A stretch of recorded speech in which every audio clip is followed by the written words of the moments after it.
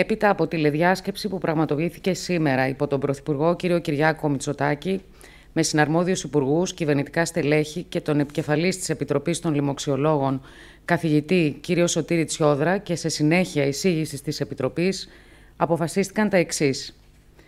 Πρώτον, η προγραμματισμένη για το διάστημα 5 έως 13 Σεπτεμβρίου 2020 85η Διεθνής Έκθεση Θεσσαλονίκης δεν θα πραγματοποιηθεί.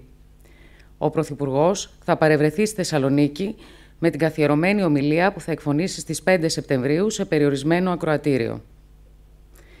Δεύτερον, με βάση την πορεία και την αξιολόγηση των επιδημιολογικών δεδομένων, αποφασίστηκε ότι από τις 17 Οκτώου για την είσοδο στην Ελλάδα καθίσταται υποχρεωτική η προσκόμιση αρνητικού τεστ μοριακού ελέγχου για τον κορονοϊό που θα έχει διενεργηθεί μέχρι 72 ώρες πριν για όσους ταξιδεύουν με πτήσεις από τις εξής χώρες. Σουηδία, Τσεχία, Βέλγιο, Ισπανία, Ολλανδία.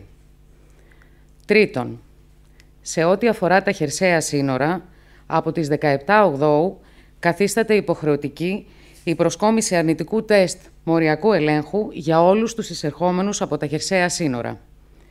Το τεστ θα πρέπει επίσης να έχει διενεργηθεί μέχρι 72 ώρες πριν την είσοδο στην Ελλάδα. Η υποχρέωση προσκόμισης του συμπεριλαμβάνει επίσης τους Έλληνες πολίτες και τους έχοντες άδειες διαμονής. Το τεστ πρέπει να έχει διενεργηθεί στη χώρα προέλευσης και όχι στην Ελλάδα. Τέταρτον, από τις 16 Οκτώου μπαίνει πλαφόν στον επιτρεπόμενο αριθμό εισερχομένων από το συνοριακό φυλάκιο της Κακαβιάς. Συγκεκριμένα, από τις 16 Οκτώου θα επιτρέπεται η διέλευση 750 ατόμων την ημέρα. Πέμπτον, αναστέλλεται σε ολόκληρη τη χώρα κάθε δημόσια εκδήλωση στην οποία οι συμμετέχοντες είναι όρθιοι, περιλαμβανομένων συναυλιών και παραστάσεων.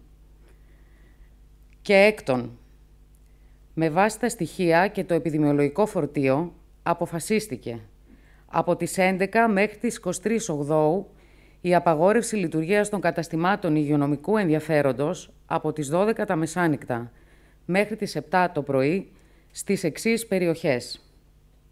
Στις περιφέρειες Κρήτης, Ανατολικής Μακεδονίας και Θράκης.